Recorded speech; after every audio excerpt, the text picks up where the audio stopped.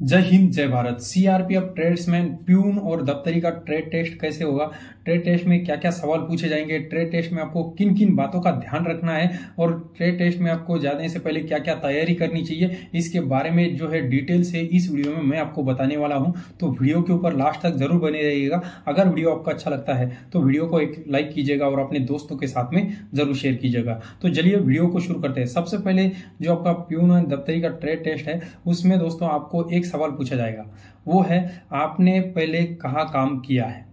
ठीक है, ये सवाल आपसे पूछा जाएगा। आप बोलोगे, मैंने यहाँ काम किया है, वहाँ काम किया है।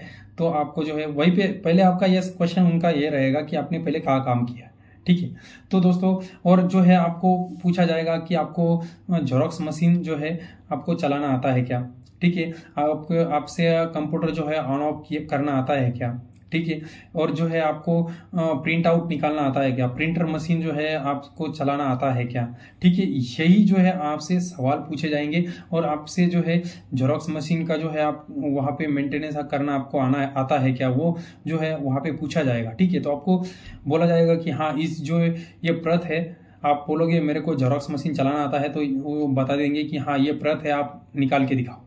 ठीक है? तो वहाँ पे आपको जो है जोरॉक्स जो, जब निकालोगे, ठीक है फ़ोटो कॉपी करोगे तो फ़ोटो कॉपी में जो है बोलोगे कि आप कलर प्रिंट निकाल के दिखाओ।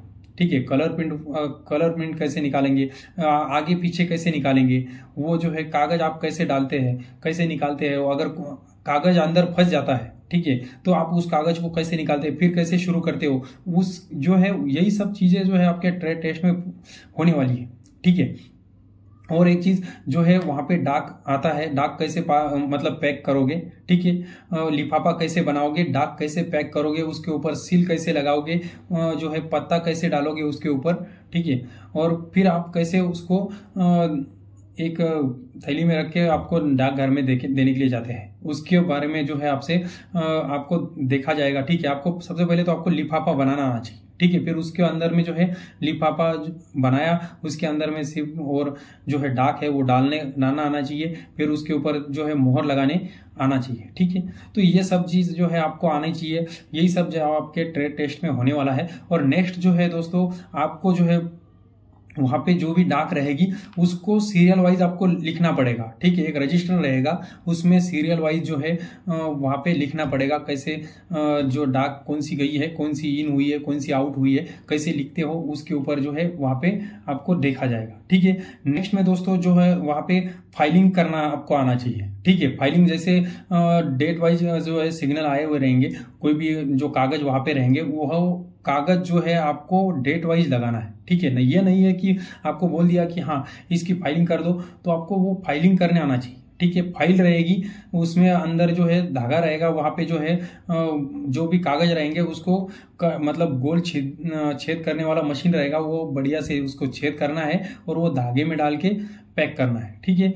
वो फाइलिंग आपको करना पड़ेगा। ठीक है तो फाइलिंग में दोस्तों एक चीज़ और ध्यान रखना है।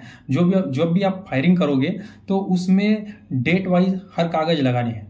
अगर आप डेट वाइज लगाते नहीं हैं तो वहीं पे जो है आपके मार्क्स जो है कट होते रहेंगे। आपको पता ही है कि आपका जो टेस्ट होने वाला है, वो 50 मार्क का है। 20 मार्क्स आपके जो है क्वालिफाई वाले अगर आप क्वालिफाई करने के लिए अगर आप 20 मार्क्स नहीं लाते तो आपको सीधा वहीं पे डिसक्वालीफाई कर दिया जाएगा। जो आपका सफ़र चल रहा है, वहीं पे खत्म हो जाएगा। ठीक है? तो ये सब चीज़ें आपको ध्यान में रखने की बहुत ज़रूरत है। ठीक है? तो आप जब जाओगे तो वहाँ पे आपको फाइलिंग कराना चाहिए, आपको जो है लिफाफा बनाना आना चाहिए, आपको डाक कैसे भेजते हैं, ठीक है? कैसे उसके ऊपर नाम लिखते हैं, वो सब कुछ आपको अच्छे से आना चाहिए। कंप्यूटर ऑन ऑफ़ करना आना चाहिए, वहाँ पे साफ़ सफ़ाई अच्छे से आपको करना आना चाहिए। जो भी एक प्यून का कार्य है वो आपको दफ्तरी का कार्य है, वो आपको आना चाहिए, ठीक है? तो वहाँ पे सबसे मेन चीज़ जो दोस्तों, आपको फोटोकॉपी मशीन है, वो चलाना आना चाहिए जेरोक्स मशीन है, वो आपको चलाना आना चाहिए, ठीक है? इसमें जो भी सा, साधन सामग्री होती है वो अच्छे से आपको सेट करना आना चाहिए ठीक है? पेन स्टैंड अच्छे से आपको लगाना आना चाहिए वहाँ पे पेन स्टैंड में पेन पेंसिल रबर जो है वहाँ पे आपको अच्छे से रख रख देना है। फिर जो है एक डेट का कॉलम होता है उसमें जो है डेट आगे पीछे करके आपको जो है वहाँ पे लगाना अच्छे से आना चाहिए ठीक है? जो भी ऑफ़िस वर्क से संबंधित जो भी आ, काम है, वो आपको अच्छे से आना चाहिए। ठीक है, जो ये सब चीज़ें जो है आपकी ट्रेड्स टेस्ट में देखी जाएगी। ठीक है तो इसका ध्यान ज़रूर देखिएगा कि जब आप वहाँ पे जाओगे तो आपसे सबसे पहले यही सवाल पूछा जाएगा कि आपने इससे पहले कहाँ काम किया है? ठीक है तो वहाँ पे जाने के बाद में आप बोल दोगे कि मैंने यहाँ काम किया है, कोई लड़का बोलेगा, जिसने काम नहीं किया है तो वो बोलेगा, मैंने नहीं किया है। तो दोस्तों, आप इसका, इस चीज़ का ज़रूर ध्यान दीजिएगा, जो ऑफ़िस से संबंधित, जो भी है, वो आपको हर चीज़ आपको अच्छे से आनी चाहिए, ठीक है? तो इस वीडियो में मैंने जो है सारे आप पॉइंट जो है आपके क्लियर कर दिए फिर भी आपके मन में कोई डाउट्स है, फिर भी कोई सवाल है तो आप कमेंट्स बॉक्स में जाके मेरे को कमेंट्स कर सकते हैं। जय हिंद, जय भारत।